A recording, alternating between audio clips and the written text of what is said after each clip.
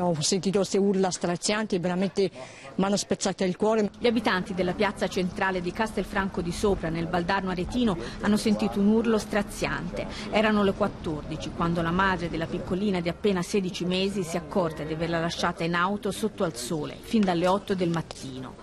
Dopo sei ore l'ha ritrovata esanime, in arresto cardiaco. Avrebbe dovuto portarla al nido, ma qualcosa nella tua testa questa mattina è andato in tilt ed invece si è diretta al lavoro nel palazzo comunale dove ricopre il ruolo di segretario. È stata subito ascoltata dai carabinieri, da Arezzo è giunto anche il procuratore ed anche il padre viene ascoltato per capire meglio le ultime ore prima della tragedia.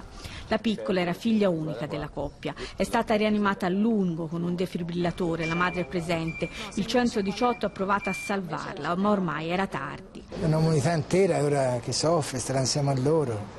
Una vera sofferenza c'è questa mamma e questo babbo.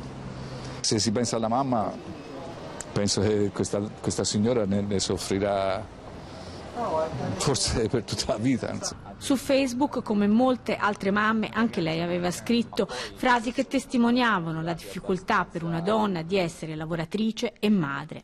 Una tragedia simile in Toscana accadde anche meno di un anno fa, era la fine del luglio del 2016, quando morì una bambina di 18 mesi a Vada, nel Livornese.